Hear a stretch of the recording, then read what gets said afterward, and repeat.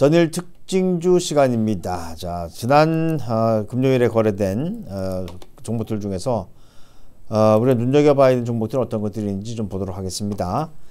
자, 먼저 외국인과 기관 투자가들의 매매를 가지고 본다면요. 어, 지난 금요일까지 해서 여전히 삼성전자의 매도가 제일 많았습니다. 5,321억. 그런데 좀 특징적으로 또 튀어나온 게 뭐냐면 현대차예요.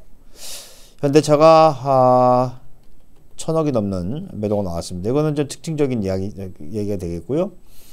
아, 그리고 삼성 SDI, 삼성전자 우선주, 셀트리온, 네이버, SK 하이닉스 이런 순으로 순매도가 있었고요. 매수한 것은 ETF가 예, 껴있긴 하지만 삼성물산과 KTNG, LG생활건강 이런 종목들이 좀 눈에 보이는 상황이고요.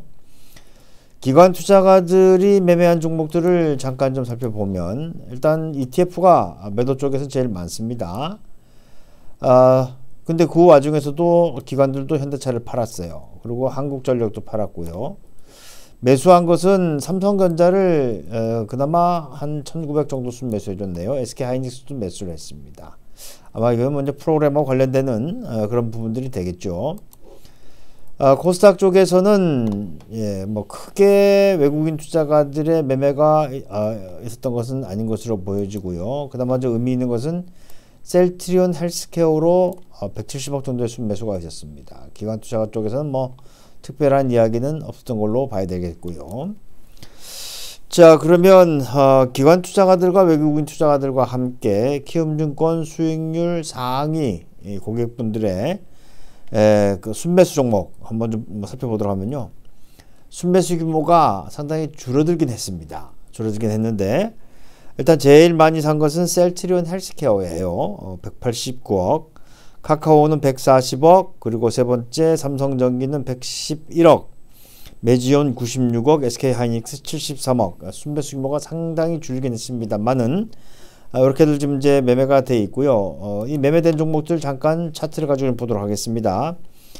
자, 먼저 5위에 올라 있는 SK 하이닉스. 아무래도 낙폭을 이용한 매매가 아닌가 차트를 가지고 좀 어, 보도록 하면요. 어, 낙폭을 이용한 매매다. 특별히 기술적인 상황을 제하고는 볼 것이 없는 상황이고요.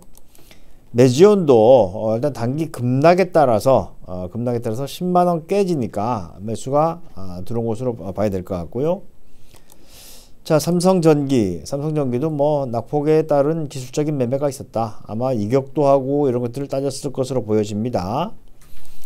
자, 그리고 카카오. 어, 카카오도 마찬가지죠. 지금 뭐 기술적인 상황을 제외하면 종목들을 볼 어, 만한 것들이 없는 그런 상황이죠. 셀트리온 헬스케어는 아, 일단 네, 여기도 이제 에, 여기에 있는 넥라인, 넥라인을 그 공략한 그런 매매들로 이제 볼 수가 있을 것 같습니다.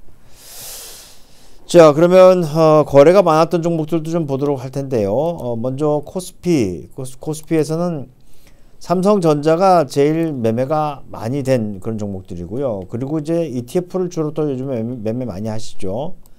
그리고는 SK 하이닉스와 현대차. 현대차가 눈에 띄는 종목이었어요. 이게 지금 10만원 깨져 있네요. 그렇죠. 87,200원. 그렇습니다. 그 밖에 신풍제약과 셀트리온 이런 종목들이 좀 보여지는 상황이고요. 코스닥에서는 여전히 C젠이 제일 위에 있습니다. C젠, 셀트리온 헬스케어도 거래가 많이 됐고요. 마크로젠이나 YBM넷, 네패스 이런 종목들이 어, 매매 상위에 거래, 거래 대금 상위에 이름을 올리고 있다. 이렇게 보시면 될 것 같습니다.